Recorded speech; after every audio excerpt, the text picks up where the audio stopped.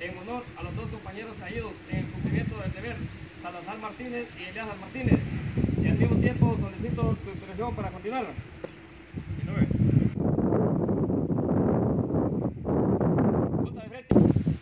En honor a nuestros compañeros caídos en el cumplimiento del deber, Jersey Martínez y Salazar Martínez.